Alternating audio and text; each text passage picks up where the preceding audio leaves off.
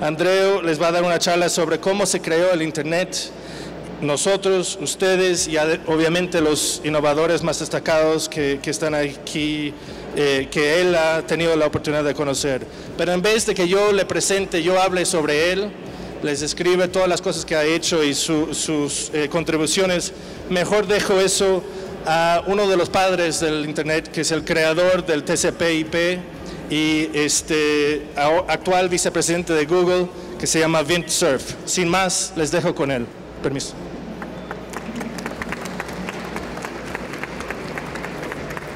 Perfecto, muchas gracias. Vaya, no ya. I want to talk to you about an absolutely amazing book that a friend of mine, Andrea Vea, has spent 19, nearly 20 years working on. He's done 320 interviews. He's got 800 people that he talks about who were the help the creators of the internet all around the world. This book is a compendium of the story of the internet's creation. And it's created in the process friendship for me with people all around the world, but particularly friends in Barcelona and in Madrid, where I discovered that the friendliest people in the world live. So this book is something that you will treasure if you get your hands on it, because it's a resource with stories that are personal in nature, but that tell the story of the internet over a long period of its development. So I can recommend it to you, and I certainly recommend knowing Andrea Vea, who knows everybody in the world because of all the interviews that he's done. So if you need to get in touch with someone, he's the guy you need to talk to.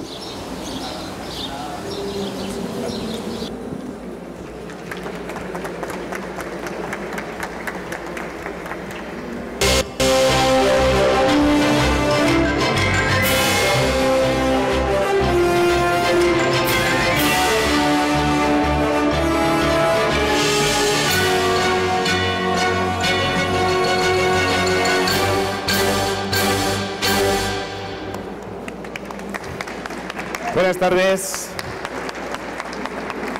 Buenas tardes, Quito.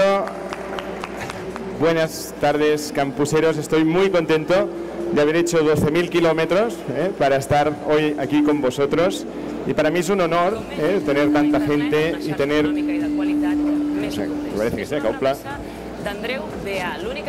Tener a tantas personas y gente pues que está interesada en una de las cosas que para mí en los últimos 20 años ha sido pues uh, mi gran uh, pasión. Mi gran pasión... Un.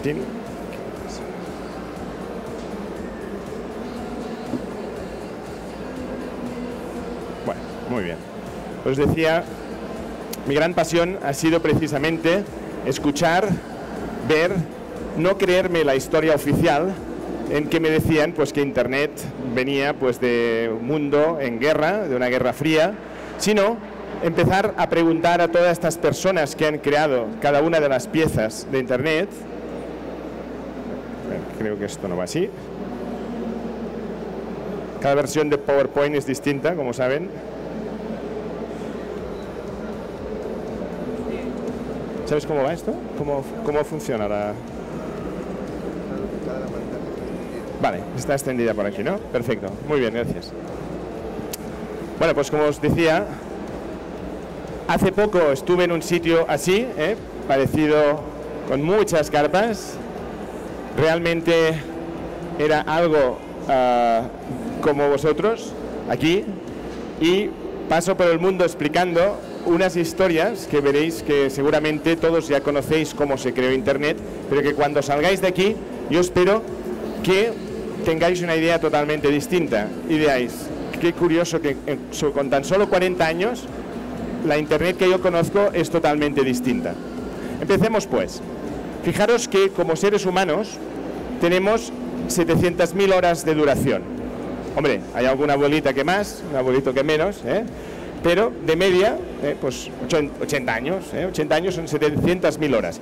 Si además de esto le quitamos las noches, las rato que pasamos durmiendo, tenemos básicamente aquí a la derecha 470.000 horas hábiles. Por tanto, con la cantidad de gente que hay aquí, Yo os voy a ocupar 50 minutos, pero vamos a hacerlo de manera muy intensa, ¿eh? porque no quiero quitaros tiempo de vuestras preciosas vidas. Recordad, el tiempo es finito y por tanto aprovechémoslo.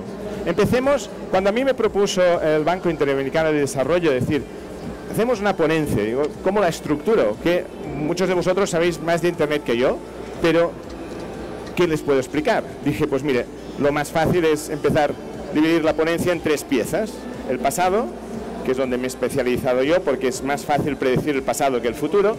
Entonces, por un lado, el presente, y después vamos a hacer algo que nunca me atrevo, pero que los del banco me dijeron, oye, nosotros que nos gusta mejorar vidas, cuéntanos un poco cómo se puede mejorar vida con la tecnología. ¿eh? Por tanto, nos vamos a aventurar en el futuro. Empecemos pues con el pasado. ¿Qué es el pasado? Bueno, yo creo que Internet es el salto definitivo en la evolución de las comunicaciones humanas. ¿Por qué? Disculpen, hemos tenido un pequeño problema al, inicio y esta versión ha salido en catalán, pero bueno, yo lo haré en castellano, aunque ha sido producida en inglés. O sea, esto es un poco lioso, pero bueno, síganme a mí. Básicamente, cuando yo digo que es el salto definitivo en estas comunicaciones, lo que estoy diciendo es que imaginaros que nos ponemos en el lenguaje. ¿eh? El tema del lenguaje, inventado pues por el Homo sapiens hace unos 300.000 años antes de Cristo, bueno, antes de Cristo no es igual porque 300.000 años son muchísimos, pues fijaros que de alguna manera el lenguaje era uno a uno, ¿eh? hablamos uno a uno. Poco más tarde, la escritura de los sumerios, unos 3.000 años antes de Cristo, este sistema de comunicación pues también era uno a uno. ¿Y por qué? Hasta que Gutenberg en el año 1456 después de Cristo ah, inventa la, la, imprenta y con la Biblia de Maguncia decimos, esta es la gran revolución. La revolución, ¿por qué? Porque por primera vez era uno a n. Uno escribe, muchos leen. Eso es la gran revolución. Fíjense que Internet, 30 años, ¿eh? Ah, después de Cristo, ¿no? hace unos 30 años. Bueno, digo 30 años porque es múltiplo de 3 y así me queda bien, pero no es verdad. ¿eh? El 69 hace 45, a ver si estamos despiertos, que no os engaño. Pues es por primera vez un sistema que va N a N. Internet la podemos hacer más rápida, más lenta, más pequeña, más lo que sea, distinta, cambiar el nombre, pero nunca será, o sea, lo que vamos a hacer cualitativamente, nunca se podrá hacer nada más porque ya es N a N, ya no, no quedan dimensiones. Por tanto, cualitativamente, Internet es la revolución definitiva de las comunicaciones humanas. Fíjense que al principio Internet era de lectura, pero ahora con los blogs, con los sistemas que nos permiten expresar, es todos contra todos, es N a N. ¿eh? Aquí, por tanto, vemos la potencia de esta, de esta herramienta. Recuerdo, ¿eh? N a N. Sigamos. Los 80, yo, yo he vivido esto. Ustedes no sé si ni, saben lo que es esto. Es un modem de acoplamiento acústico. Cuando teníamos estos teléfonos así gordos, que lo poníamos a 300 bits por segundo y costaba pues un dineral la conectividad. Más tarde, sí. Ah, muchas gracias. Perfecto, sí. Más tarde, ¿ustedes recuerdan esto? Hace cuatro días esta empresa dejó de existir, Nokia. ¿eh? Bueno, yo era el moderno de la Palm Pilot y tal, y conexión infrarroja, además GSM, en los 90. En los 2000 este era mi mundo. ¿eh? En el 2000 pues estuve trabajando para Cisco para traducir o localizar ah, bueno, pues los teléfonos Cisco IP Phone que seguramente algunos de ustedes pues utilizan a diario. ¿eh? Si, si, en el castellano ven alguna falta de ortografía es culpa mía. ¿eh? O sea, que sepan Después, en los años 90, estuve en Retevisión y no fue hasta el 2002 que defiendo mi tesis doctoral sobre Internet, aquí ven el folleto que escribí durante nueve años, y Vince Cerf, uno de los padres de Internet que hemos visto, hizo el prólogo, le gustó y me dijo, ¿por qué no te vienes un año a Stanford, en Silicon Valley, a seguir tu investigación? Bueno, pues al final yo puse, esto es otro ejemplo, es decir, este esfuerzo de nueve años lo puse abierto en Creative Commons, en ese momento nadie sabía que era Creative Commons, ahora sí, pues en el año 2002, y por suerte, al hacerlo así, 300.000 personas han descargado mi tesis. ¿eh? De otra manera hubiera sido un, pues un tocho ahí, un, una, cuatro libros en una no sé, un sitio polvoriento ¿eh? de, de, la universidad y nadie hubiera podido beneficiarse de esta tesis. Esta tesis a día de hoy me han dado varios premios, pues la tesis más descargada de España. ¿eh? Bueno, pues lo que os decía, Surf me invita y yo pues me voy. ¿eh? Me voy a un sitio que como sabéis pues uh, es el Silicon Valley, ¿no? ¿Suena esto? Pues no, esto no es el Silicon Valley, esto es San Francisco. Esto es... Entonces, bueno, esto es el Silicon Valley. ¿Vale? Silicon Valley es un sitio donde hay un par de empresillas de tecnología ¿eh? alrededor de Stanford y a partir de aquí pues empiezo mi especialidad. ¿eh? Lo que pasa es que no cobraba, pequeño detalle. ¿eh? Os voy a, durante la conferencia os voy a dar ideas, de decir, si no sabéis inglés, bueno, aprended inglés. Que no tenéis dinero, no pasa nada. It, ¿eh? donde os lleve pues, pues, vuestro sueño. Al final tuve que inventar alguna cosa para poder uh, sobrevivir en un sitio que es bastante caro. Y a partir de aquí, como os dije, pues estuve localizando estos teléfonos que son más grandes o más pequeños. ¿no? Bueno, fijaros que uh, la mayoría de estos pioneros de Internet, de las personas que han creado Internet, son personas completamente desconocidas. Son ciudadanos que, como veremos, nadie les conoce. ¿eh? Para poder encontrarles tuve que poner en marcha un programa que se llama Who is Who in the Internet World, quién es quién en el mundo de Internet, algo impronunciable, wiwill.org. ¿Y qué es lo que hacemos? Pues básicamente coleccionar todas estas historias que nos permiten uh, bueno, pues saber, uh, conocer a las personas y grabar en audio digital y después también en vídeo sus voces. ¿eh? Bueno, básicamente después generamos unos documentos multimedia y lo que nos permite en el libro que hemos publicado pues es tener estos códigos bit, es un libro para escuchar. ¿eh? Tú pasas tu smartphone, ¿no? Uh, lo pasas por encima y de alguna manera te permite capturar, o sea, en vez de ir a un enlace, te mando un MP3 y puedes escuchar directamente la voz de estas personas. ¿eh? Los objetivos principales que tenemos, los objetivos, sí, muy gracias. Los objetivos principales que tenemos es, bueno, pues coleccionar todas estas entrevistas. Uh, las preguntas son siempre las mismas para todos, pioneros de todo el mundo, no solo de Estados Unidos, y, alcanzar la, la, máxima difusión. ¿no? Son rápidas de acceder, fáciles de entender, probadas metodológicamente y sobre todo digitales, ¿no? totalmente digitales para que puedan servir. Empecemos pues. Verán que en mi presentación no quiero poner texto porque las personas estamos hechas para imágenes y procuraré pues no tener texto. Si ustedes me preguntaran, una manera de hacer gráficas la, Internet, pues este sería un buen dibujo. Bueno, se nota dónde vive el que hizo el dibujo, pero si imaginamos ¿eh? de alguna manera esto como tubos de agua, los, hay algunos tubos muy gordos y hay pueblecitos en donde la, el agua casi no llega. ¿eh? Bueno, pues esto pasa aún a, a día de hoy. Imagínense, seguramente ya saben de dónde viene Internet, los orígenes son claramente pues que si esta red, ahora nos retrocedemos a la Guerra Fría, los años finales de los 60-70, pues si los soviéticos tiraban una bomba, ¿eh? una bomba atómica, sobre esta red, las migas, ¿eh? los trocitos que quedaran de esta red, tenían que seguir trabajando, ¿eh? tenían que seguir funcionando. Seguro que les suena, ¿no? Los orígenes de Internet, ¿sí? Pues no, pues no, esto no es así, esto es un mito, uno más, ¿eh? de los casi todo lo que conocemos de Internet o es incorrecto o es falso. Esto es bastante curioso.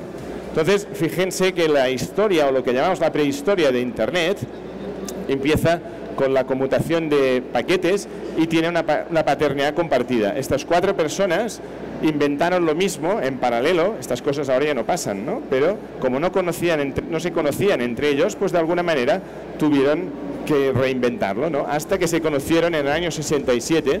El señor de la derecha sí que es el que es el culpable del mito militar.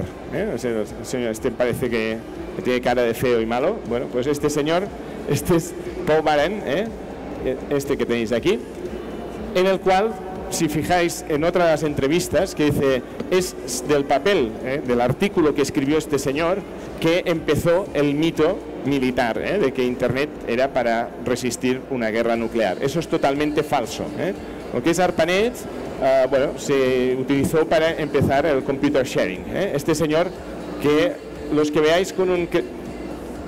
Así. Pues parece que no. Los que veáis con un crespón así a la derecha es que han muerto hace unos meses. ¿eh? Esto es uno de los problemas que tengo en mi investigación, que la gente se está, me está muriendo, tiene esta mala costumbre. Entonces, fijaros que si nos vamos al año 68, pues tenemos la primera red, ¿eh? que es ARPA, ARPANET, y estas son las primeras máquinas ¿eh? que tenía, sacadas del manual del usuario. ¿eh? Exactamente las máquinas primeras que tuvo ARPANET. Eran máquinas bastante grandes y si os fijáis, cada una tenía, ponían un terminal tonto encima de la mesa de este señor. Y al final, cuando tuvo tantos terminales encima de la mesa que solo se conectaban a la universidad que él había dado dinero para comprar el ordenador, dijo, oiga, ¿y no sería mejor interconectarlas? Algo que nos parece ahora obvio, ¿no? Por tanto, el motivo de la creación de ARPANET es un motivo puramente de ahorro, de ahorro económico. ¿eh? Imagínense que una lavadora de estas pues valía 3.000 millones de dólares. Bueno, más que una lavadora es una lavandería, es toda una habitación. ¿eh? Eso era solo un ordenador. Bueno, entonces este señor cuando lo fui a visitar, Bob Taylor, me hizo leer dos libros y seis papers, o sea, seis artículos antes de poder irlo a entrevistar. ¿no? Me los leí, pero justo cuando fui a entrevistarle, abre la puerta con el pestillo y me hace dos preguntas teóricas. ¿eh? Y digo, ostras, las respondí, pero claro, no me llego a leer el libro y no hubiera entrevistado. ¿eh? Entonces pensé, si todos son así, no vamos a acabar nunca. Pero bueno, final los leí y este señor, bueno, pues ya estaba haciendo en el año 68 pensando que podríamos hacer chat y que podríamos hacer WhatsApps y cosas así con ordenadores un poco más gordos, pero ya visualizaba, ¿eh? bueno, pues esta es la foto de decir, por fin pude, con, este señor podemos hacerlo. En paralelo, Duke Engelbart ah, inventó el mouse, algo que ustedes también utilizan bastante a menudo. Pues este señor es el creador de esto. ¿eh? No solo del mouse, sino de estas teclas de aquí de abajo, que cuando yo fui a su casa le dije, oiga, ¿y esto qué es? Son cinco teclas, dos a las cinco son 32 combinaciones, y seguramente se acuerdan con el WordPerfect, el WordStar, que hacíamos Control K, C, Control K, V, esas combinaciones, pues él lo resolvía en el 68 con esto. O sea, con una mano cogía el mouse y subrayaba algo, y con la otra le, le aplicaba una negrita, una cursiva, y me dijo, no tuvo tanto éxito. Digo, sí, es verdad, ¿eh? comparado con el mouse, ¿no? Bueno, pues este, en paz descanse, es Duke Engelbart, cuando le fui a visitar a su casa y a entrevistarle. Y también tenemos su voz que nos explica pues, sus orígenes.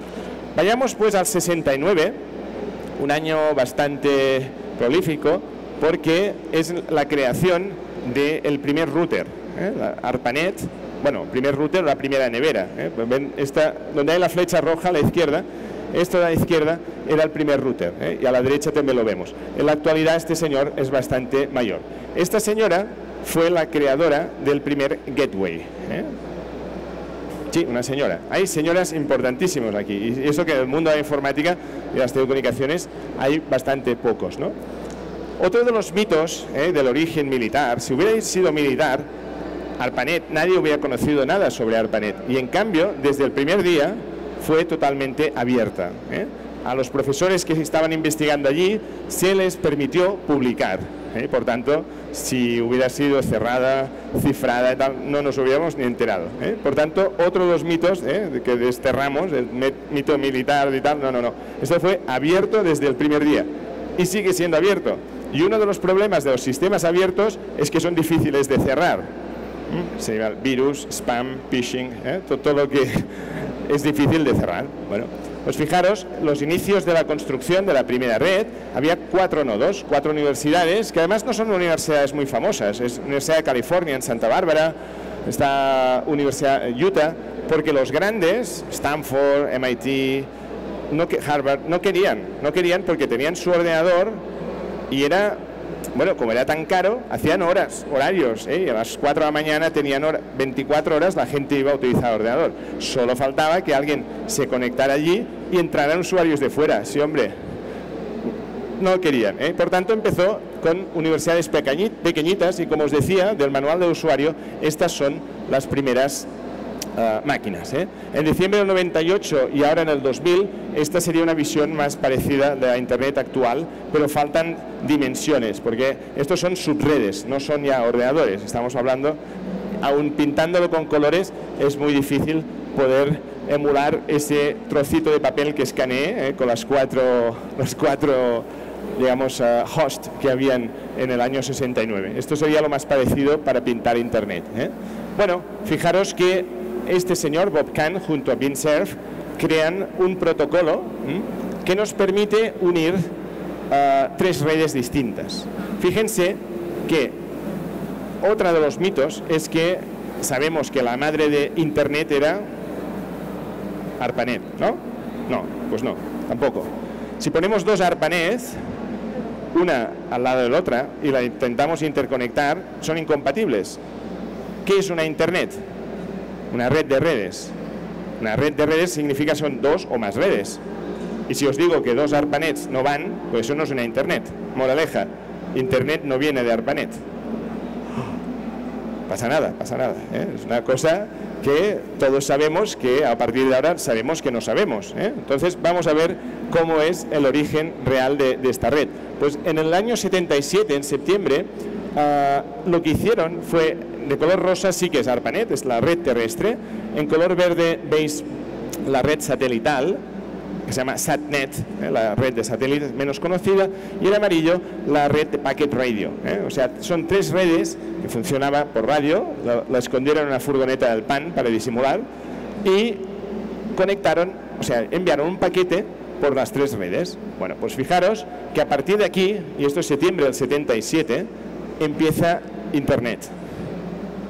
¿Por qué? Porque esto es el Interneting Problem. El problema de Internet se resuelve, que es decir, cualquier red con cualquier tecnología de acceso puede ser interconectada y que los paquetes funcionen.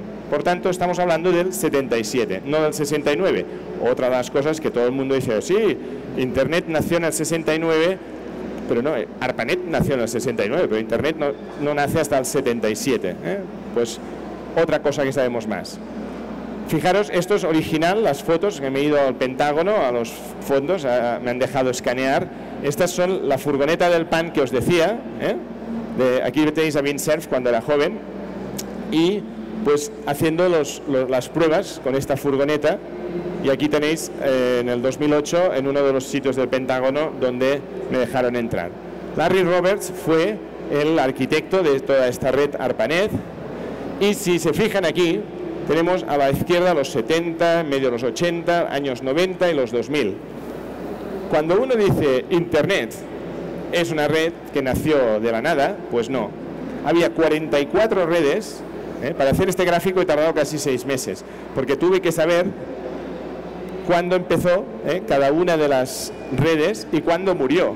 ¿Eh? Cuando empieza está más bien documentado, pero cuando cierran normalmente no vas a un blog y dices, hemos cerrado, qué bien. No entonces es más difícil. Pero fíjense que hay 44 redes con tecnologías de red distinta que al final, eh, en los 90, convergen y hacen Internet, esta nubecita. Eh. Por tanto, Internet no es una sola red, es muchas tecnologías, es como un puzzle. Eh. Fíjense pues que hay un montón. Y, y, ARPANET se corta aquí, en el año 90. Y después Internet viene de esta línea verde de la National Science Foundation Net, NSFSNet. ¿no? Si por arriba no se lee muy bien, pero si se fijan, en el año 71 se crea el FTP y el email, en el 72 el Telnet, el 73 el eh, Ethernet, el 74 el TCP, y van como por pulsos ¿no? los inventos. Desde el año 2001, que se inventa el WiMAX, no se ha inventado nada más a nivel de protocolos. Esto es muy curioso. ¿eh? supongo que ahora tendremos otra, ¿eh? otra otra ráfaga de, inventos, pero en estos momentos pues estamos aquí, ¿eh? hay muchas cosas, decimos que Internet a nuestros padres, a nuestras abuelas, pues que es muy moderno y tal, pero estamos bueno, utilizando una tecnología que es del año 74, es posiblemente uno de los softwares más antiguos que están en marcha. ¿no? Bueno, en su momento a Internet no se le llamó Internet, esto no lo sabe nadie. Esto se llamaba Catenet.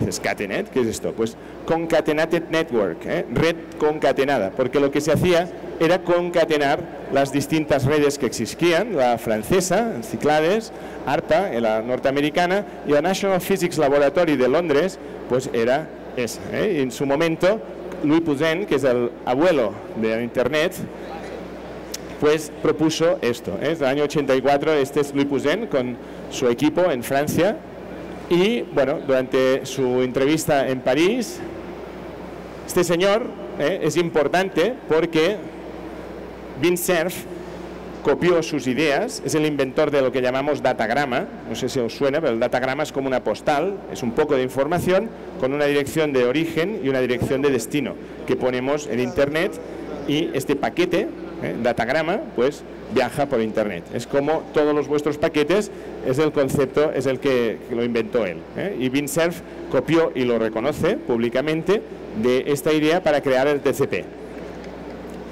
Poco más tarde, mm, Norm Abramson, un profesor de la Universidad de Stanford, de California, le gustaba mucho el surf y se fue a Japón, pero antes paró un momentín en Hawái, ¿no? un Hawái, como dicen allí. Estos son de su álbum particular, me dejó pues escanearlo y si se fijan, pues en el 75 ya iba con un celular, es un poco moderno el señor. ¿eh? Además, eh, bueno, como le gustaba, gustaba el surf, se paró allí y claro, saben que en Hawái todo es aloha. ¿eh? Aloha es hola, es adiós, es amor. O sea, tienes que ir con cuidado con la palabra aloha como la utilizas. ¿no? Entonces, eso está claro. Si tú montas una red, se va a llamar Aloha Net. ¿eh? esta es la primera red de conmutación de paquetes. Y esta es la parte pues, más dura de mi trabajo, ¿no? cuando tienes que ir localmente y vestir como los indígenas y ponerte allí a entrevistar a, la gente, a los pioneros de, de Hawái. ¿no? Cuando digo ah, más difícil es porque solo llegar a la Universidad de Hawái se me caía un coco, a un palmo, o sea, estoy aquí de milagro. ¿eh? Y de alguna manera, otras de las anécdotas, porque yo os podría contar, podría hacer otro libro sobre las cosas que me han pasado intentando entrevistar a los pioneros de Internet. Cuando logré por fin saber quién era el creador del correo electrónico, algo que utilizamos a diario, muchos de ustedes ni se habrán planteado si está vivo, ni qué cara tiene, ni... Bueno, pues yo dije, voy a entrevistarlo. Y al final supe que era tal persona, no se dejaba entrevistar. Tardé seis meses, ahí venga, por favor. No, no, no. No consideré que haya hecho nada interesante o importante. Él ha hecho muchos inventos y por tanto el email es otro y no considera que sea muy importante. Por tanto, no se deja entrevistar por ningún periodista ni por nadie. dijo, oiga, es que yo soy ingeniero, no soy periodista. No, tampoco. Bueno, finalmente, pues seis meses más tarde, entrevisté a su jefe de 40 años antes. ¿eh? Y su jefe me dijo, mire, en su día, ARPANET, las passwords estaban en un fichero en claro. Tenías nombre de usuario y la password, fichero de texto. Nombre de usuario, password, tal. Y yo le dije, oiga, ya sé que nos conocemos todos, pero sería mejor encriptarlo, ¿no? Sí, sí, sí. Y lo ponía en el to-do list, ¿no? la lista de tareas para hacer. Pasaban las semanas y no, no estaba, no, lo hacía. Y un día este señor, su jefe, se hartó y cogió su password, que era zucchini, ¿eh? calabacín, y lo que hizo es enviarle un mail a Ray Tomlinson, al inventor del mail, con solo su password, zucchini. Y al día siguiente el fichero de texto estaba encriptado. ¿eh? Bueno, esto es una cosa, una anécdota real que le pasó hacía 40 años. Pues yo dije, ¿sabes qué? Voy a coger, voy a ponerle un mail con zucchini, pero además de texto de 120, ¿eh? un texto gordo, solo una palabra, pam, y le envío un mail. A los cinco minutos me responde, me dice, oye Andreu, tú sabes más de mí que la mayoría de personas en el mundo, ven, y cogí un avión y me fui a Boston a entrevistarle. ¿eh? Y esta es una cosa que dije, ostras, también estaba eh, parece que sea un leñador del bosque, ¿eh? efectivamente, no lo va a ver nadie, sigue trabajando en la misma sitio desde el año 71, en el mismo edificio, en la misma empresa, todo igual, y también tuve que vestirme pues parecido a mi entrevistado. Entonces, de alguna manera, pues esta es la, posiblemente de las únicas entrevistas que haya al padre del correo electrónico. Lo mismo pasó con la Ethernet. ¿Sabéis por qué se llama Ethernet? Porque viene del Ether, porque iba por radio. Anda. qué cara, ¿eh? pues, pues Ethernet es precisamente radio y después fue por cable, ¿eh? el famoso RJ45 que tenemos por aquí, este cacharrito que hacemos el CLEC, ¿no? bueno, no está enchufado, pues esto es la Ethernet. Siempre ha ido por cable y 40 años más tarde ahora vuelve a ir por radio, es el Wi-Fi, ¿no? el Wi-Fi. Fijaros que las cosas van péndulo, pero se llama Ethernet por el aire, ¿eh? por el vapor del éter. Está creado por Dave Box y Bob Metcalfe, que es la historia más parecida a Hombre Rico y Hombre Pobre. ¿eh? Aquí donde veis, pues Bob Metcalfe fue el creador de 3Com, era Computers, Communications and Compatibility, ComComCom, 3Com, que tampoco existe, pero se hizo multimillonario este señor. Y aquí lo veis en las primeras 100 millones de unidades de tarjetas de red, ¿eh? cuando habían vendido. Y el otro, ¿eh? lo, veis en su casa, pues en el comedor, lo típico que tenemos todos, pues con un oscilador, un analizador de protocolos ¿eh? en el comedor, bueno, pues sigue haciendo placas de red. Bueno, lo llevan muy en la sangre, fijaros la matrícula de California, tenéis... Ah, bueno, pues este es Bob Metcalf, que vive ahí en Boston, al lado del Capitolio, la mar de bien. ¿Hoy habéis usado el DNS? ¿Qué es esto? No, no os estoy insultando. El sistema de nombres de dominio. ¿eh? Fijaros que ni os dais cuenta y cada vez que enviáis un correo electrónico, cada vez que navegáis por Internet, cada vez que usáis el WhatsApp o cualquier aplicación o la telefonía sobre IP, estáis utilizando el invento de Paul Mocapetris, un perfecto desconocido para vosotros y para la mayoría del mundo hasta hoy, que es la persona que inventó todo el sistema, la base de datos distribuida, gracias a la cual Internet pudo escalar y explotar. ¿no? Este es Paul. ¿eh? Bueno, este Paul también es una, es una, tienda de pan eh, que está en, España, pues una, una, cadena. Una de las señoras más importantes, de las mujeres más importantes que hay en Internet, Jake Feiler, ¿eh? otra perfecta desconocida. Esta señora dijo, como biblioteconomista que era, cuando se inventaron los dominios, dijo, estos dominios es un desorden. Dijo, .com, .net, .arpa, .mil, .org.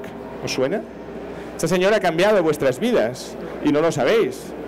No puede ser esto. Entonces, esto es un homenaje a estas personas totalmente, como os decía, ah, poco conocidas que han cambiado la vida. Seguramente este señor sí que lo conocéis, Steve Berners-Lee, el que el año 90 no inventa nada. Lo que hizo es poner la red Internet, que decimos que desde el 77 existía, y le añadió el hipertexto y el HTML, que eso sí que lo codificó él. ¿eh?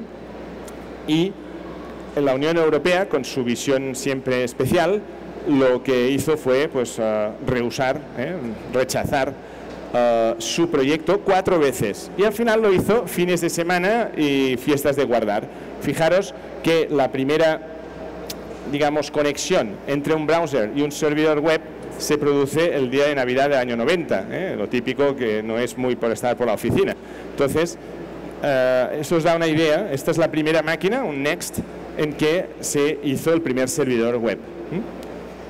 Más adelante, en el año 94, disculpad, pero esto va un poco así bailando, en el año 94 se crea Mosaic, y Mosaic es una de las primeras, o el primer browser gráfico, porque antes había browsers de texto. Oh, pues no, este tenía fotos. Y gracias a esto, esto es uno de los grandes hitos que hace que mucha gente se empiece a utilizar Internet, porque era tan fácil lo de los links, ibas haciendo clic, clic, clic y ibas saltando. Después se convirtió en Netscape. Seguro que los que sois un poco ya más mayores os ponéis nostálgicos ¿eh? primer navegador que utilizasteis. ¿no? Bueno, en el año 95, vamos pasando más rápido, Jerry Young y David Philo crearon el Yet Another Holistic Object Oriented System, más conocido por Yahoo. ¿Mm? En el año 97, dos años más tarde, Sergey Brin y Larry Page de Stanford, también de mi departamento de Electrical Engineering, lo que hicieron es crear un buscador. Y yo mismo me acuerdo, decía, ¿para qué queremos un buscador si ya tenemos a Yahoo, que está clasificado? Entonces, una cosa de los contenidos clasificados ¿eh? y el otro era el search, ¿no? el buscar sin clasificar, sin pensar, buscar una palabra y encontrarla. Fijaros que, como anécdota, inicialmente la dirección de Google era google.stanford.edu y después ¿eh? la fórmula matemática de indexación, de indexación, que es el PageRank, que no es el ranking de páginas, sino que es el ranking de Larry Page. ¿eh? El PageRank ¿eh? Gente piensa que es el... No, no, no. Es el ranking de Larry Page. Pues el PageRank, el algoritmo, la propiedad es de Stanford. Y en su momento lo cedió para comercializar a una empresa que se llama Google Inc. hasta el 2011. ¿Qué pasó en el 2011? Bueno, pues que había evolucionado tanto que ya estaba fuera de la patente. ¿eh? De alguna manera, pues siguieron adelante. Esto es uh, Google Plex, en donde hay, pues, es muy curioso dentro de Google porque las, las salas de reuniones pues son mm, portables. ¿eh? Hemos quedado en tal sitio, anda, pues no está la sala. Y puedes escribir, es como una pizarra veleda, puedes escribir en, el techo de las paredes. Justamente en el 2005, por primera vez en la historia, se entregó el premio de la ACM, el Turing Award, a Vint Cerf. Es como los premios Nobel de uh, Computer Science. ¿eh? Este es Larry Page, como os decía, está en el, mi departamento en, en, Stanford y me tiene admiración porque yo tengo el doctorado y él no lo ha acabado y yo le tengo admiración porque él tiene 28 billones de dólares en su bolsillo y yo no, es una admiración mutua, ¿no? Esta es la... Bueno, entonces lo que os decía, estas entrevistas, en el final, un día dije, oye, tal día, tal hora, tal sitio intenté durante tres meses preparar esta reunión en la que pusimos a todos los pioneros de ARPANET en la misma sala, les invité a cenar y después en Washington. Y después lo que hicimos fue entrevistarles una a uno, dos horas, para grabar también sus voces. Este señor seguramente tampoco lo conocéis, es John Chaffee, del departamento, curiosamente, Electrical Engineering de Stanford, y cobra un dólar por cada modem o router de ADSL que se vende en el mundo. ¿eh? Desde la caída de Saddam Hussein, que yo no veía grifería de oro en los lavabos. ¿no? Decías, uh, un dólar por cada modem router, eh, porque es el inventor de la ADSL. ¿eh? Seguramente que tampoco habéis oído hablar jamás de John Chaffee. Ese señor es en Hong Kong la persona que trajo Internet a Hong Kong y es el líder del punto HK seguramente utilizáis la Wikipedia. Este señor es el creador de la Wikipedia. También, como os decía, esta señora, uy, se otra vez, esta señora es una de las grandes uh, impulsoras de que Internet haya escalado porque creó el Gateway. Y el Gateway era la manera de conectar dos redes distintas, con tecnologías distintas. ¿eh? Bueno, esta es lo que os decía la, en el año 2010, el encuentro que hicimos, ¿eh? que le llamé Collective Memory Experiment, o sea, experimento de memoria colectiva, porque les puse a todos a la vez, durante dos horas y delante de una cámara, a hablar sobre los orígenes de ARPANET. Y claro, cuando hay personas como, tan importantes como Vint Cerf, Bob Kahn, los pioneros de Internet, los otros no mienten esto en un juzgado sería lo más parecido a un careo. ¿eh? ¿Vale? Pues hice lo mismo a lo bestia con todos y le llamé experimento de memoria colectiva, ¿eh? porque a veces la memoria se va hacia un sitio ¿eh? y así hacer colectiva la cosa pues está un poco mejor. De todo esto siempre me impulsaron a hacer un libro y hice un libro que después os descubriré aquí, bueno, os enseño un poquito, es un folleto pequeñito que hace 2,5 kilos, en inglés 5 pounds, ¿eh?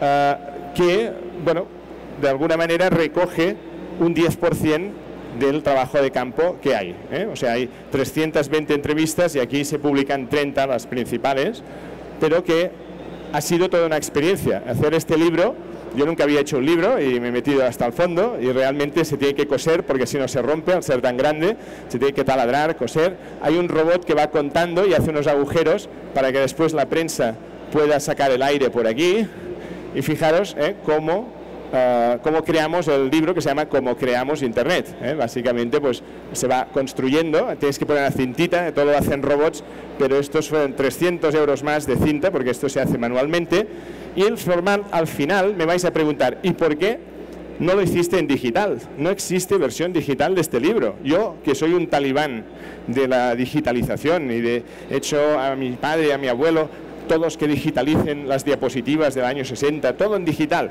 Y va, hago un libro y, lo hago en papel. Bueno, pues la respuesta es bastante clara.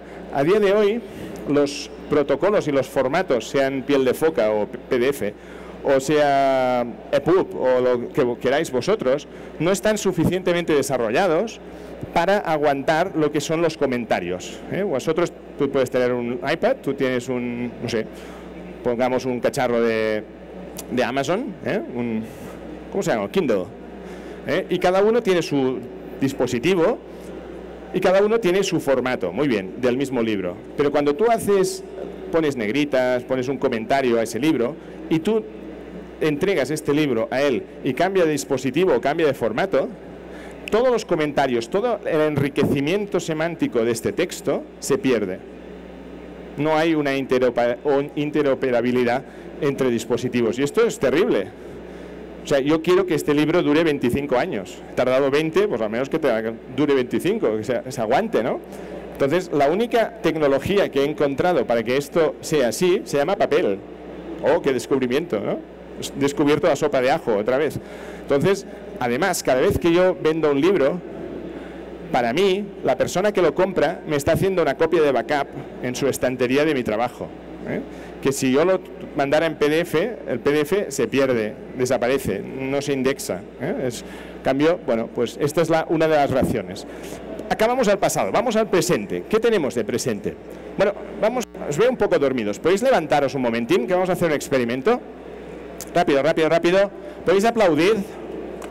Fuerte. Vale. No he dicho que me aplaudierais, ¿eh? He dicho que, que aplaudierais, pero no a mí. Os he dicho aplaudir.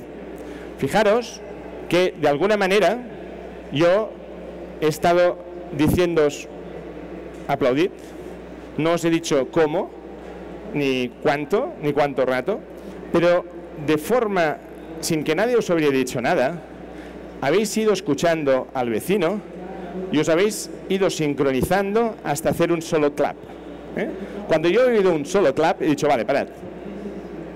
De forma distribuida, habéis creado un sistema armónico, sin instrucciones, sin director central, pero de forma automática, como la inteligencia está distribuida en un sistema natural y armónico como sois todos vosotros, y como es Internet. Y así es la manera como Internet se autogobierna, de forma natural. ¿eh? Uno escucha al otro, uno conecta con el vecino, cada uno guarda lo suyo y Internet funciona. Cuando alguien nos diga quién es el jefe de Internet, no hay jefe. ¿Quién es el director de Internet? No hay director. Cada uno cuidamos de nuestro jardincito y tiramos un puente al vecino. Este es el mayor sistema de inteligencia distribuida que se ha creado en el mundo. Y estos son los VIPs de Internet. ¿eh? Al final, yo a los VIPs de Internet les llamo viejos y pobres. ¿eh? ¿Por qué? Pues porque realmente son personas mayores, estos son algunos de los 320 entrevistados para hacer el libro, los cuales a lo mejor conocéis uno o dos de estos 320, después de esta charla pues conocéis a varios más, pero que han hecho todo es la, realidad de Internet. ¿eh? Por otro lado, si yo os pongo esta slide, que me ha costado bastante porque he tenido que revisarme todas las revistas de Forbes, todas las portadas, a lo mejor estas caras no os dicen nada, pero si hago un clic, a lo mejor ahora ya os dice más.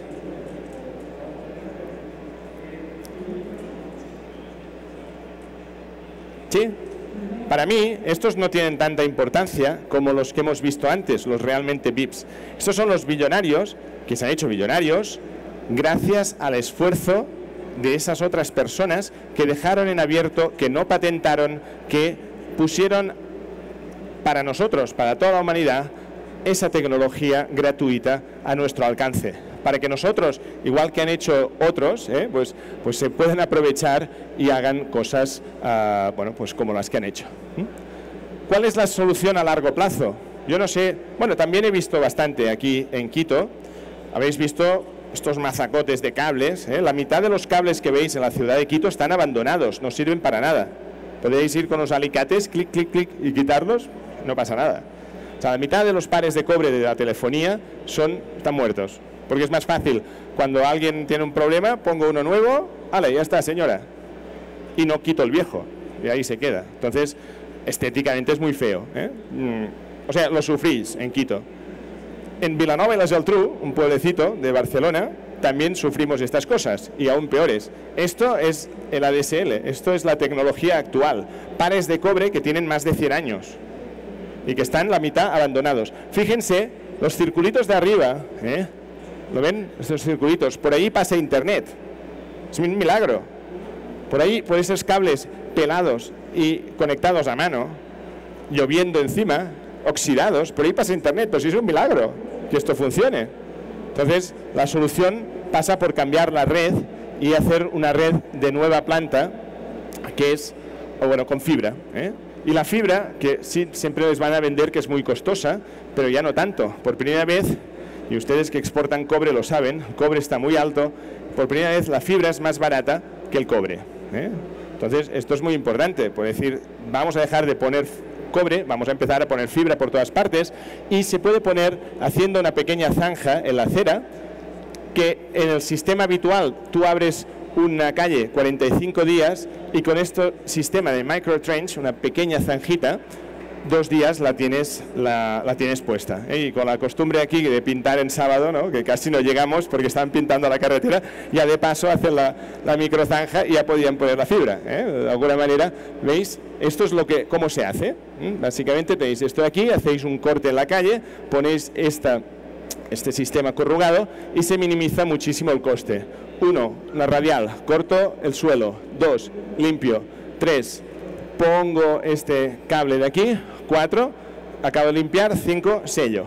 Ya está. En un momento se puede poner fibra a día de hoy y es mucho más barata que hace 5 años. Con lo cual, esa es la excusa de que no tenemos fibra en el pueblo porque no, ¿eh? o porque estamos en una provincia que ya no es la capital y todo esto, esto son tonterías. Hace 5 años podían ser excusas, pero a día de hoy eh, yo lo que promuevo en España es precisamente que las personas se arremanguen y la pongan. vayan al supermercado, compren su pack de fibra y lleguen hasta una arqueta, se autoorganicen. Y el día que en ese pueblecito, eh, que nunca un operador, ni el monopolio, ni el que viene, nunca van a ir allí, eh, ahora estáis imaginando cerca de Amazonia, ¿no? o un pueblecito de allí, estos señores, el día que se organicen y pongan esta fibra de todas las casas hasta la arqueta, vas a poder decirle al operador, oiga, tráigame la fibra, ilumínela ¿eh? y entre a la entrada del pueblo. Para el operador eso sí que es rentable, pero en ese día vas a poder negociar y decir, en vez de 40 dólares vas a cobrarme 10 dólares y vas a darme 200 megabits simétricos por la fibra, que se puede perfectamente. ¿eh? ¿Por qué? Porque la fibra es mía, no es tuya, operador. Esto me parece que esto no lo puedo decir aquí, pero bueno.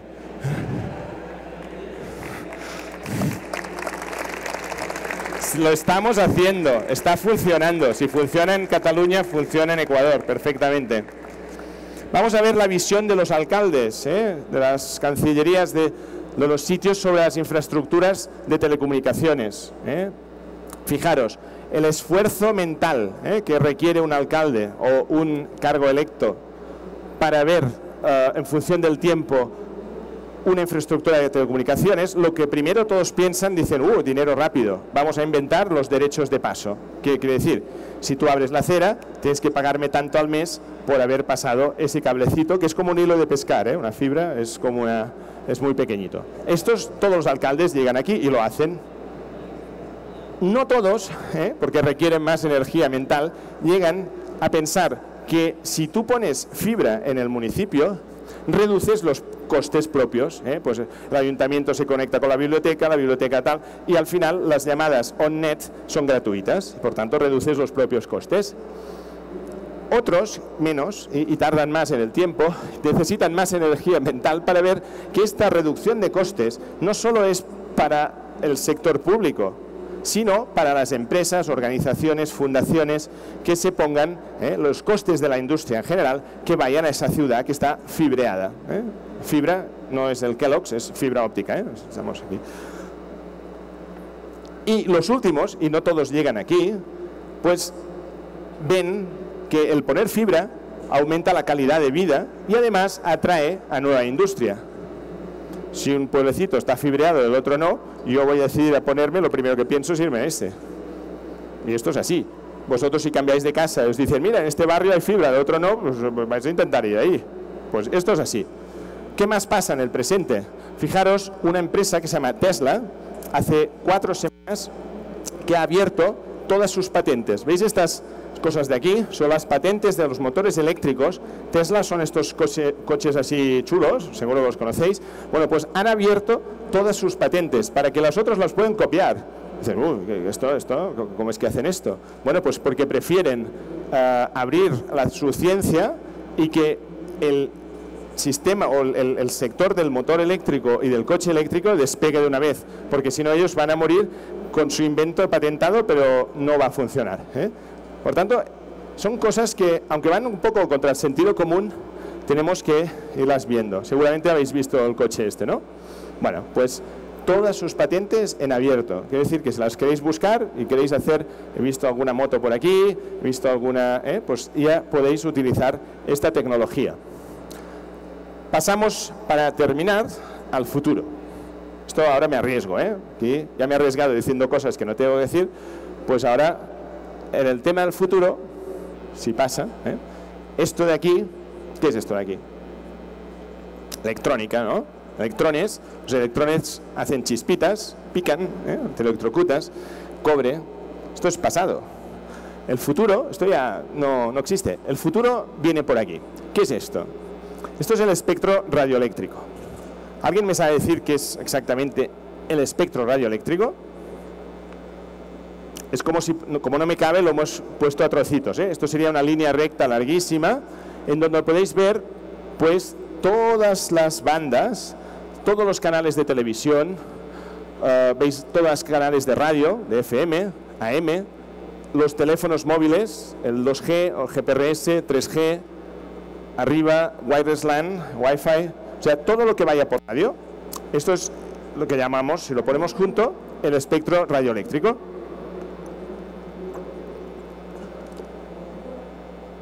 Pues bien, una sola fibra, una, puede transportar 25.000 veces todo el espectro radioeléctrico. Una con la tecnología de hoy. Lo de mañana ya veremos. Y este silencio quisiera que memorizarais el numerito este de 25.000, post-it. ¿eh?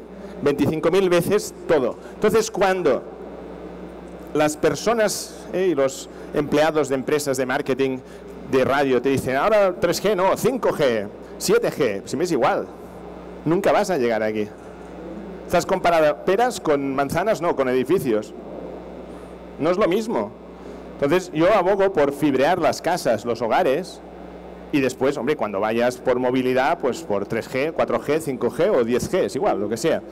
Pero fibra. ¿eh? Eso de que bueno, la radio ya está mejorando tanto que no hace falta fibrear, eso es mentira.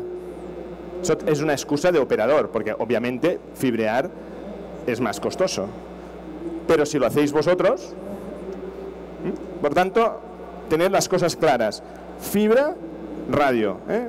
Toda la suma de todas las radios, incluido todos los canales de tele que tengáis, todo, con una sola fibra transportas 25.000 veces más esto.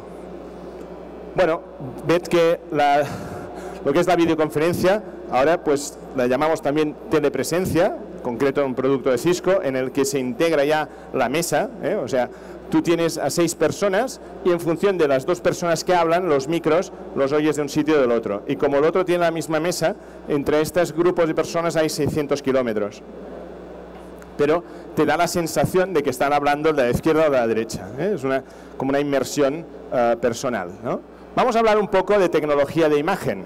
Estoy en el futuro ya. ¿eh? Aquí veis una, radiografía de las de antes, pero con un poco más de calidad. ¿eh? Podéis observar hasta el agua cómo entra esta señora por la boca. Si os enseño esto, ¿qué os parece que es esto?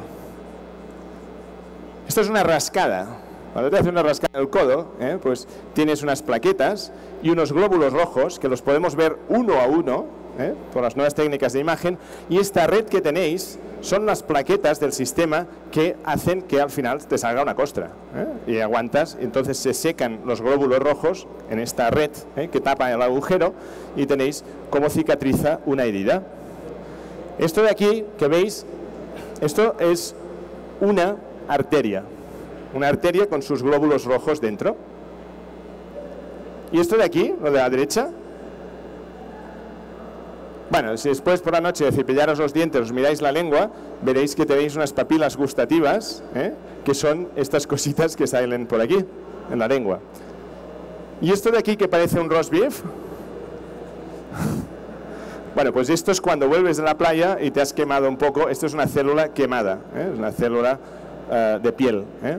Hay muchas más cosas que se están empezando a hacer a imprimir eh, pues cosas de, este tipo, pues manos, un padre que ha hecho una mano, pues por aquí hemos visto ya cosas que antes parecían ciencia ficción y que ahora con los materiales que tenemos, impresoras 3D, podemos empezar a hacer cosas que antes no se hacían. Hace tres semanas en Barcelona, el Hospital San Joan de Deu de niños, se operó a un niño en el cual tenía como una cefalea que le crecía demasiado el cerebro y iba a morir, le han quitado todo lo que es el casco, o sea, todo lo que es el cráneo, por arriba y le han impreso un cráneo a su medida con un milímetro más de espacio y se lo han implantado y el niño está perfectamente. Ese cráneo se había impreso en la Politécnica, al lado de la diagonal, en la Universidad Politécnica de Cataluña, en una impresora 3D. Y esto se ha hecho hace tres semanas. Este niño está sano y salvo. Entonces, antes este niño hubiera muerto, seguro. Entonces, esto es innovación llevada al extremo, porque en este caso, pues era operarle o, o morirse, ¿no? Si seguimos por aquí, todo esto lo tenéis en un dedo. De izquierda a derecha y arriba, ¿eh? esto es un pelo del dedo roto. ¿eh? Arriba, izquierda. Lo que veis a derecha arriba es un surco de vuestro dedo, ¿eh? los valles y las montañas de vuestra imprenta. Lo que veis aquí, si os ponéis el dedo gordo así, a lo mejor lo veréis bien. Tenéis la uña y las pielecitas y y la carne, ¿vale? Y al final aquí tenéis un hueso que en este caso está afectado por osteoporosis. Los huesos son así, ¿eh? son duros, o sean resistentes, pero a la edad se rompen. Y si en este caso pues está afectado, veis que se rompe un poco más, pues la facilidad de rotura del hueso es mayor. Hemos logrado poner en un container todo lo que se necesita para operar a una persona, en este caso en un escenario bélico, pero se puede hacer en un sitio donde no haya un centro médico. Tiras con un helicóptero un container y tienes por robot, que después los puedes hacer todo el sistema quirúrgico para intervenir a las personas. ¿eh? A nivel de nanotecnología, ¿eh? fijaros que no todo es IT, Information Technology, es nanotecnología, biotecnología, eh, imágenes. A nivel de nanotecnología, a nivel médico, ¿eh? se ha llegado a poder hacer dispositivos que son del tamaño de un glóbulo rojo. De forma que si yo cojo un container y pongo la medicina en ese container, puedo llegar a esta cápsula liberadora donde veis aquí, que con ese medicamento, que son menores que lo, propiamente la célula cancerígena, con lo cual me permite llegar y abrir de forma remota el container y tirar la medicina encima del tumor, sin unas mil veces más efectivo que la quimioterapia y por supuesto con casi nulos efectos secundarios. Veamos pues cosas que se llevan. ¿eh? Cosas que se llevan, bueno, en este caso es un zapato normal y corriente, pero si le haces una radiografía te sale esto. ¿eh? Las chicas que tal, veis cómo queda el pobre pie, pues eh, esto es como va, ¿no? Fijaros, Social Diabetes es una de las compañías en que estoy intentando ayudar a crecer y existe ya una pequeña lentilla que nos mide la cantidad de azúcar en sangre y esto es muy bueno para los diabéticos. ¿eh? Si en vez de pincharnos 10 veces al día podemos saber cuánta, cuánto azúcar tenemos en sangre de forma eh, en tiempo real, lo que vamos a hacer es poder pincharnos o inyectar la insulina adecuada. ¿eh? Fijaros que esto ya no es una idea, sino que es una realidad que se puede implantar en un ojo perfectamente. Bueno, el Robo Sapiens, fijaros que hacer eh, todo automático, ir un cristal y hacer la videoconferencia y tal, eh, los chats, si podemos poner un robot eh, en el cual pues inervamos los músculos con sistema eléctrico y con, bueno, tenemos que maquillarlo un poco porque aquí da un poco de susto esto, ¿eh? con, la, con, la, silicona esta, pero bien maquilladito, una tal, pues siempre es mejor interactuar ¿eh? con algo así que no con una pantalla de cristal fría y tal, ¿no? Bueno, deciros no sé qué ha pasado, aquí, Fijaros lo que puede hacer una buena prótesis. Las prótesis que existen en la actualidad permiten pues jugar, ir en bicicleta. Si os digo cuál es el pie protésico y cuál es el pie real, ¿me sabríais responder?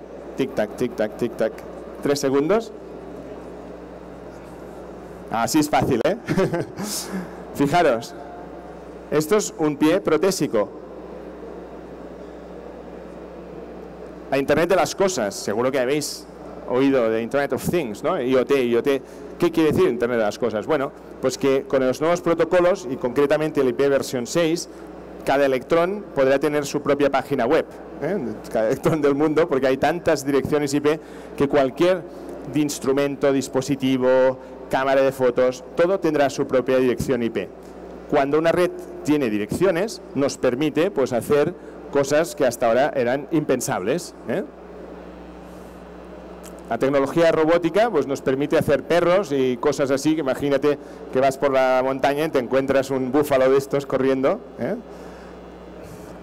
También DARPA, los mismos que crearon ARPANET, desde el 2004 hasta ahora 2014 han hecho el DARPA Challenge. ¿eh? ¿Qué es el DARPA Challenge? Pues básicamente unas carreras de coches que el primer año no ganó nadie, después otro año ganó Stanford con la gente, creo que eran de, de Volkswagen, después otros fueron con la Ford, el MIT ganó otro año. Al final Google ha comprado todos los equipos, ¿eh? los de MIT y los de Stanford, y ha hecho una cosa como esta. ¿vale? Seguramente habéis oído del Self-Driving Car, ¿eh? del proyecto este, en el cual, bueno, tenéis pues unos radares por encima y lo que os voy a enseñar ahora es lo que no ha visto nunca nadie y es, por fuera seguramente sí que habéis visto algún vídeo, pero esto es lo que no habéis visto. Esto es lo que ve el coche desde dentro, ¿eh? lo que captura el coche de su entorno, de su contexto. Hace un modelo matemático en donde decir, cuidado que hay un motorista detrás, vigila que la señal va a 90, la distancia con el coche delante. ¿eh? Y, bueno, Google, como sabéis, tiene una flota, un ejército de coches para mapear el mundo. ¿eh? Y lo están haciendo. ¿eh? Y no solo así, en Cataluña concretamente es un colega mío pues ya se pone la mochila y ahora como ya han acabado todas las calles, ahora se pone a ir de excursión en sitios bonitos, ¿no?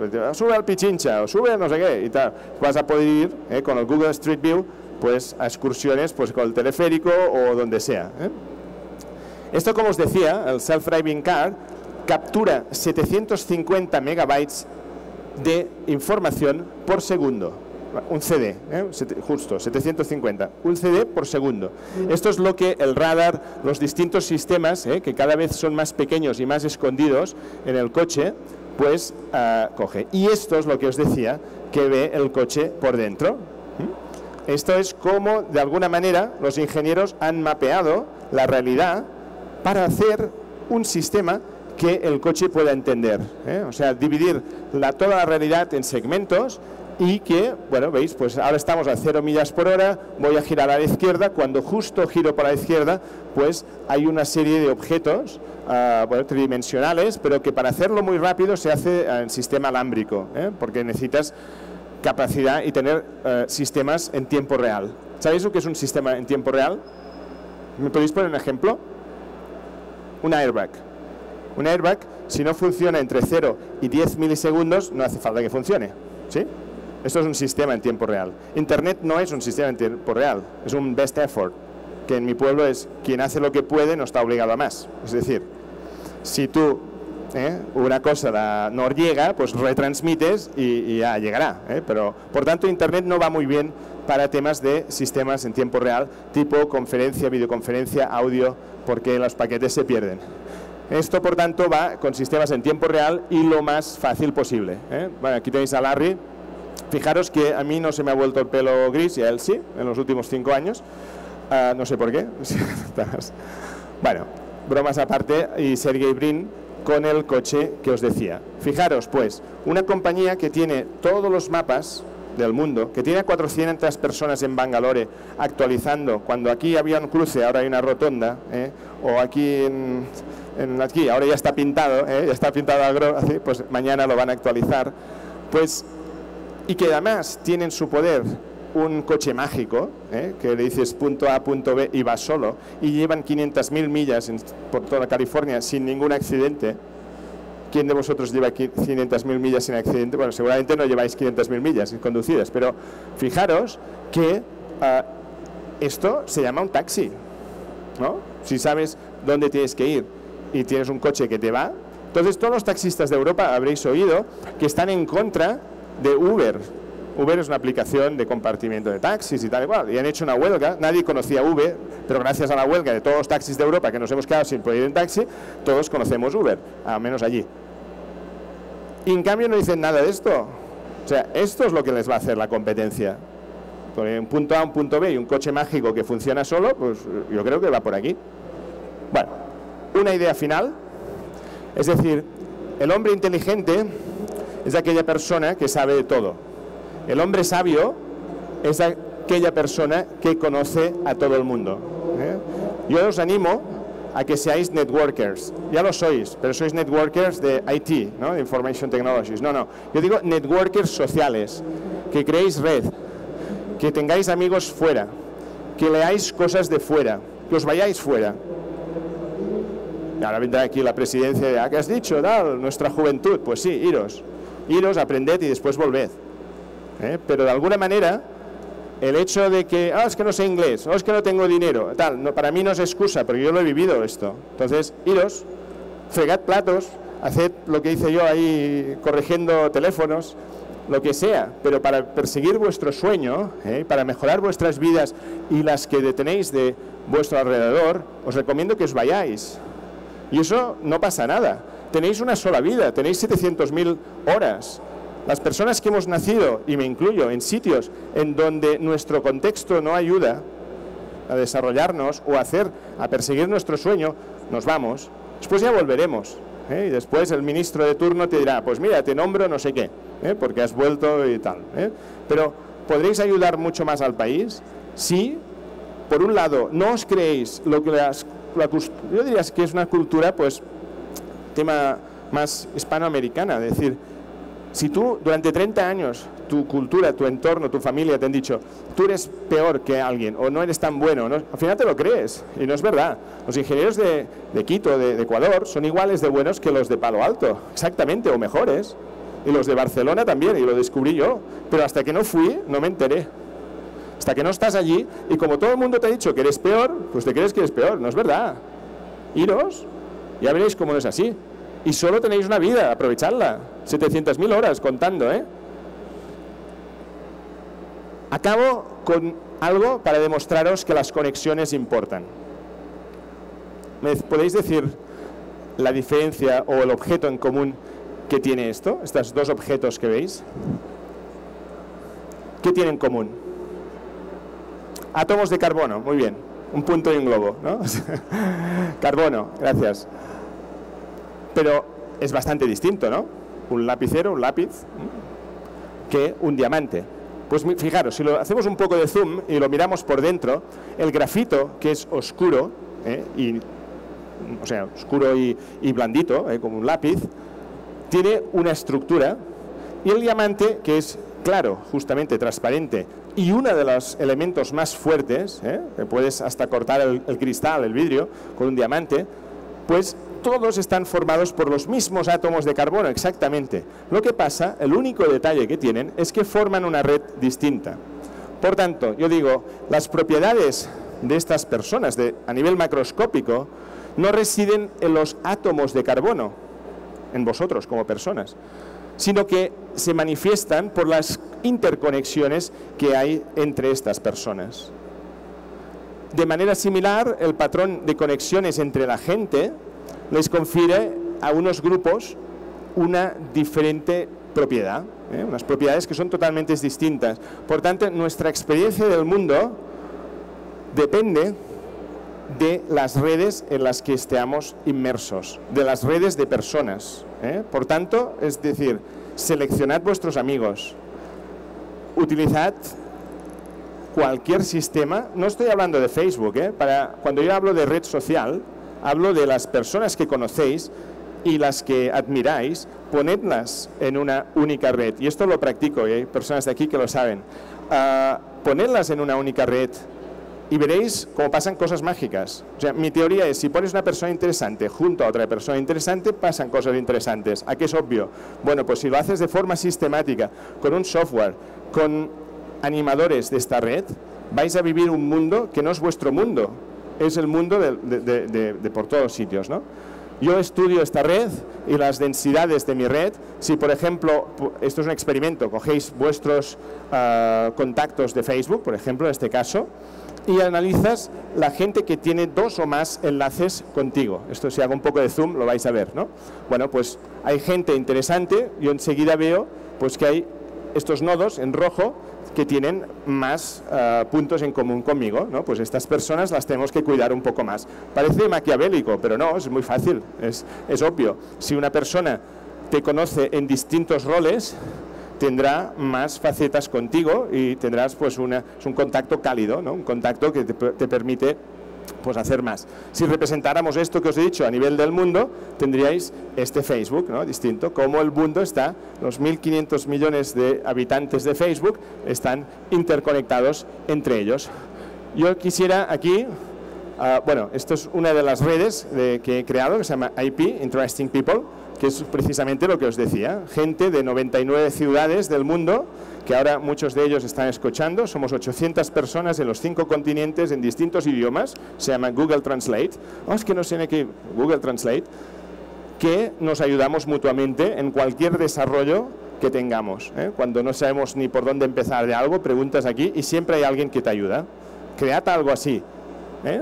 Simplemente acabar con un pequeño vídeo y dejarlo sobre cómo yo veo el futuro y un futuro que es crowdfunded. O sea, todas las cosas que vamos a ver ahora están de alguna manera, pues... Uh, sí, si me ayudas, por favor. No, este no. Ah, no lo pones. Vale. Bueno, os lo explico un poquito. Uh, todas las piezas de electrónica de lo que vais a ver ahora han sido eh, de alguna manera utilizadas y hechas con sistemas que hace 10 años no se podrían haber ni creado. ¿eh? Diciendo, tengo esta idea, me pones dinero y de aquí un año o dos la, la crearemos. Empezamos. Pon el volumen un poco alto. Interacción hombre-máquina. Fijaros que ya no tocaremos las máquinas. ¿Habéis oído hablar de Leap Motion? Zoom, desplazamiento, corto naranjas, corto peras.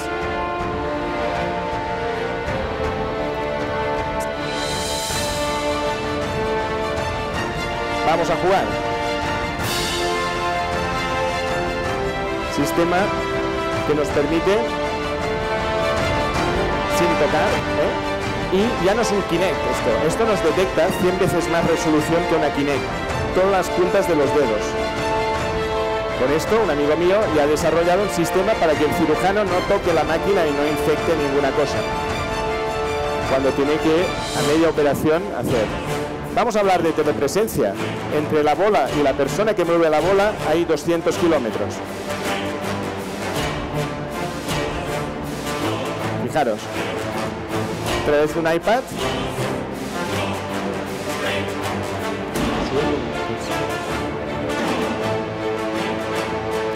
Son colaboraciones remotas.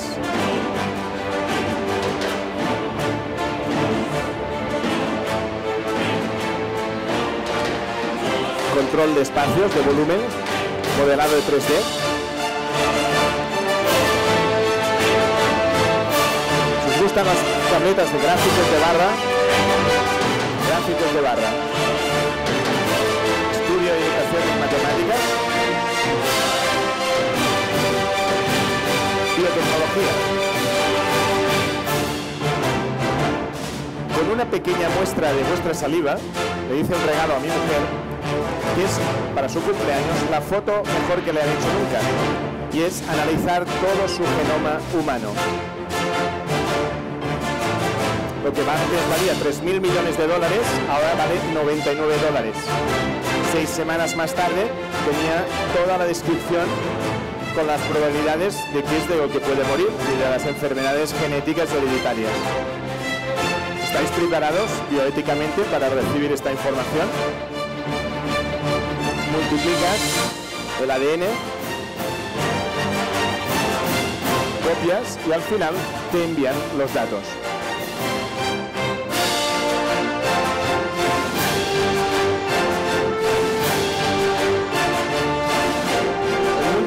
Desde 2002, la realidad virtual y la realidad real se confunden en imagen, pero es que ahora ya no es solo imagen estática, sino que confundimos el vídeo con el vídeo sintético. Fijaros, a las personas no les pasa nada. ¿Qué es vídeo real y qué es sintético? ¿Lo distinguís? Esto es una película. Va, coche, se va todo. Vamos a jugar. Si yo me pongo un sistema ¿eh? con dos ah, sensores en las manos, dos sensores en los pies, uno en la cintura, fijaros cómo puedo controlar mi avatar. Arriba, abajo. Vamos a hacer un poco de flexiones. Arriba, gimnasia, me tumbo, flexiones. Imaginaros lo que se puede hacer con esto. Si me gusta matar bestias y cosas raras y zombies, y yo pongo mi portátil en la mochila y estas dos bombillas que veis nos da la ubicación de este mundo virtual mapeado en el mundo real. Esto es jugar.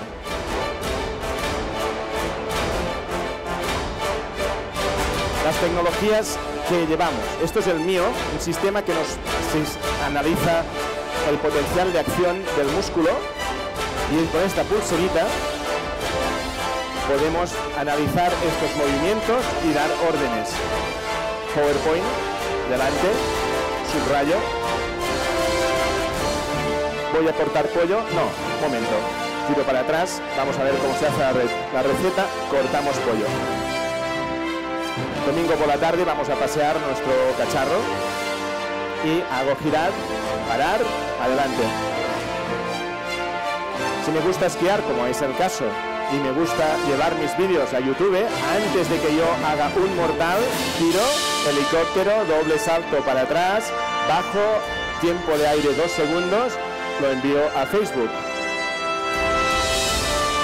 Con este guante, si soy motorista, tengo seis puntos de control.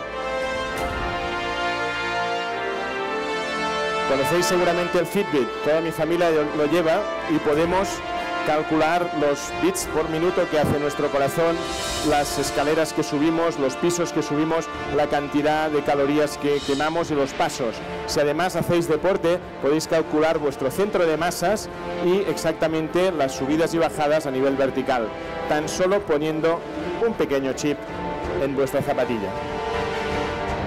Vamos a hablar de nanotecnología, cositas pequeñas. ¿Qué es nanotecnología? Bueno, un primer producto de nanotecnología, este spray, típico que en una comida nos hacemos la pequeña mancha de dos litros de vino tinto. ¿Esto es magia? No, esto es nanotecnología. Si ponemos este sistema que nos permite que las moléculas de agua reboten directamente sobre nuestra camiseta. ¿Magia? No, nanotecnología. ¿Magia? 8 litros.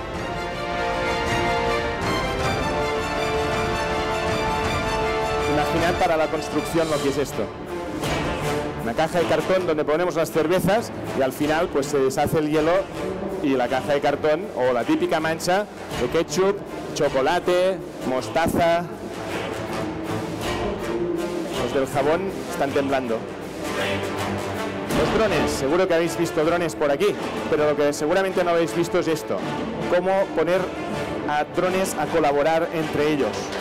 Inteligencia distribuida. Fijaros que les ponemos un obstáculo, lo salvan. Más difícil, un 8, a la izquierda, mirad. Se esperan, nunca chocan. Vamos a poner una copa de cava, una copa de champán aquí, con agua. Y vamos a controlar este dron. Fijaros el milagro del control. Aeronáutica, electrónica, matemática, hacen que este milagro, que no caiga ni una gota de agua, sea una realidad. Y acabemos, si a esta realidad le añadimos la creatividad de un amigo como Joan Lassan, que se va a las 6 de la mañana a Sagrada Familia de Barcelona y coge su dron y hace cosas como la que vais a ver ahora. Ni el propio Antoni Gaudí, arquitecto de una de las mejores y más bonitas catedrales del mundo, podía haber imaginado esto.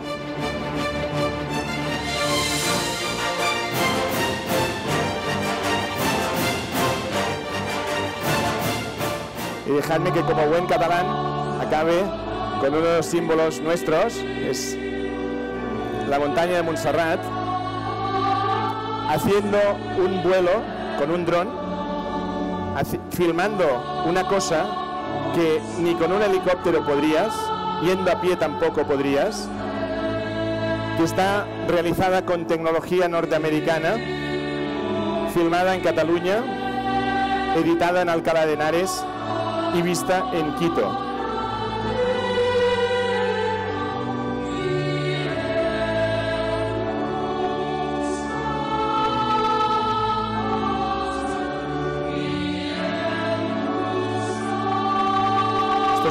A pie no podríamos hacer, tener estas vistas.